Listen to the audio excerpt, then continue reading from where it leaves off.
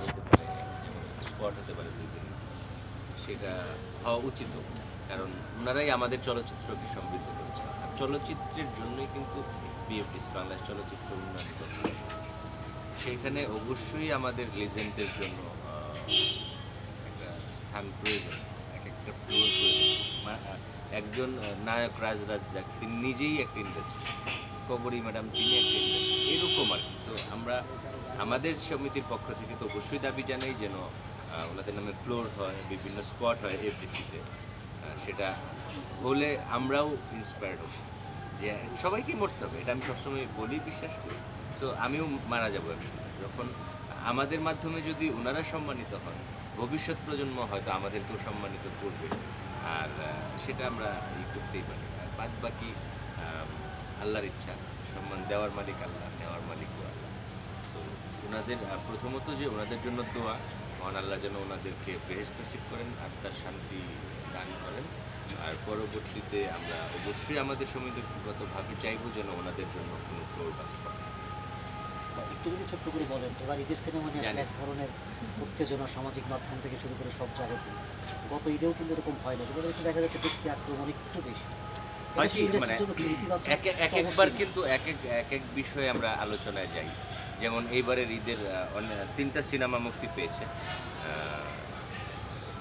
পরাণ দিন the day psycho তিনটা ছবি ভালো দর্শকরা দেখছেন। এটা হচ্ছে মানে একটা ভালো লাগার খবর যে আমাদের চলচ্চিত্রে সুদিন ফিরছে। যেমন গত রোজার ঈদে যে কয়েকটা সিনেমা মুক্তি পেয়েছিল সেগুলো খুব ব্যবসা সফল হয়েছে। দর্শকরা হলমুখী হয়েছেন হলের দিকে এসছেন। এটা একটা ভালো খবর। আর পাশাপাশি যেটা বলা হচ্ছে যে কাদা ছোড়াছুরি হয় কি যে হয়তো এখন প্রেক্ষাপটটা এরকম।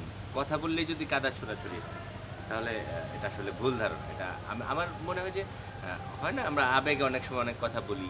সেখানে অভিনেতা, অভিনেত্রীরা, ডিরেক্টররা, প্রডিউসাররা ছবিকে কেন্দ্র করে অনেক দিন পর তো একটা মানে রমরমা ব্যবসার মধ্যে আছেন। সব মিলে এই এক্সাইটমেন্টের জায়গা থেকে হয়তো একটু অতিরঞ্জিত বা একটু আরেকটু বলে কয়ে যদি বাড়ানো যায় দর্শকদের আগ্রহ যদি সিনেমার মধ্যে আনা যায় তো মন্দ কি? এই- এরকম কাদা ছোড়াছুরি না বলে বলে যে আমরা আমাদের ভালোবাসার অভিব্যক্তি ঘটাচ্ছি এসব বলে। কারণ একটা সিনেমা করতে গিয়ে প্রযোজক লগ্নি করেন ডিরেক্টর পুরো প্ল্যানটা সাজান আর্টিস্টরা কাজ করেন কলাকুশলী যারা আছেন তারা কিন্তু একদম হুমড়ি খেয়ে পড়েন যে সিনেমাটা যেন ভালো হয়। আর তিনটা সিনেমাই কিন্তু আপনি দেখুন যে বড় প্রজেক্ট বা ভালো লাগার মতো প্রজেক্ট এটা নিয়ে প্রত্যেকটা টিমের কিন্তু একটা চাওয়া আছে যেন সবার একটাই চাওয়া ছবিটা ব্যবসায়িকভাবে সফল হোক। আর সেখানে তিনটা ছবি ভালো যাচ্ছে। তো আর এটা অবশ্যই ভালো লাগার খবর এবং সবাই সবার খোঁজ খবর নিচ্ছেন। আর এই জায়গা থেকে আমাকে অনন্ত জলিল ভাই ফোন দিয়েছিলেন ছবিটা দেখার জন্য। আনফর্চুনেটলি আমি কিশোর